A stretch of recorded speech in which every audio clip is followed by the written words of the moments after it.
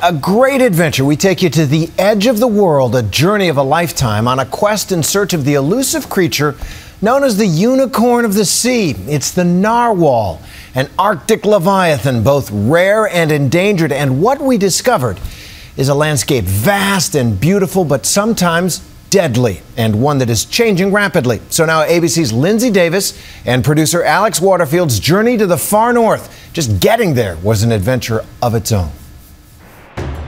It's the middle of the night, in the middle of nowhere, in one of the most inhospitable places in the world. Aside from my guides, I'm all alone. The wind is punishing. The only thing my iPhone is good for is taking video.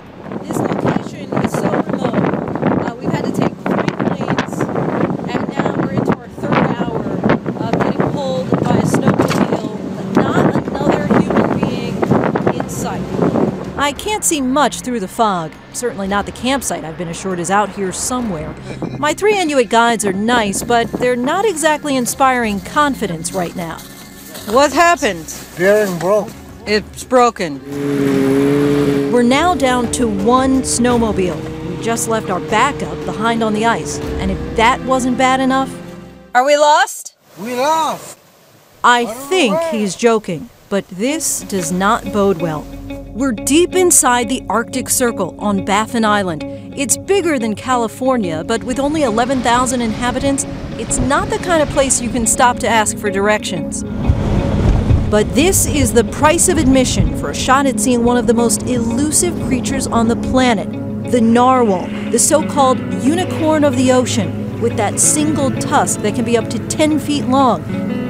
It's the stuff of fantasy, and I, for one, need to see it to believe it. And sooner rather than later, the narwhal is said to be the most vulnerable species in the Arctic to climate change. And here, the stark reminders of global warming are all around us, like these big cracks in the ice. Cracks that shouldn't be this wide this early in the summer. My mom would not be happy about this. The Arctic sea ice is literally disappearing beneath our feet, on track to be faster this year than any other on record. Oh! The effects of the rising temperatures up here are dramatic. Just a few hundred miles away from us, these tourists had a narrow escape when an ice wave caused by a falling glacier almost capsized their boat. Despite all the obstacles and dangers this far north, we press on, and suddenly I notice some orange domes on the horizon. It's our campsite. We made it. Welcome to the edge of the world, right? So this is our Arctic base camp. Uh, I'm greeted by actually, uh, Tom some Lenartz, a team leader it, uh, for Camp Arctic Iceberg, Kingdom Polar uh, Expeditions. because everything you see here had to be brought here. The only tour operator that offers land based trips this far north.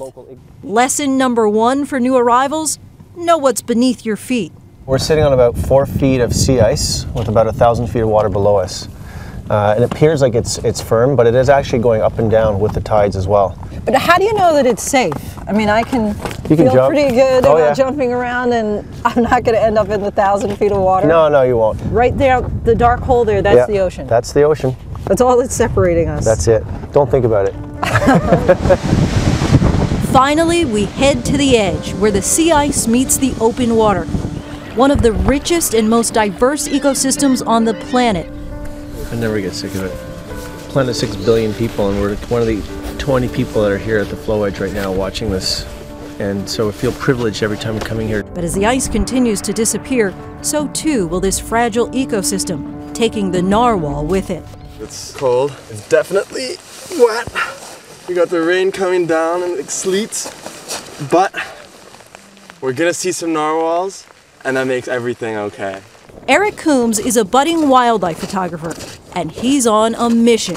If we can get those narwhals shooting up there, big long ivory tusk, that's the pinnacle moment uh, of seeing a narwhal. You gotta hear what's happening in the ocean. you really But before you see them, you can often hear them, which is why these headphones attached to a nifty underwater microphone come in handy.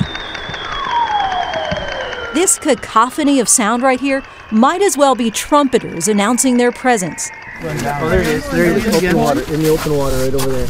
And then it happens the rare moment we've come all this way for. Behind that pack of ice over there,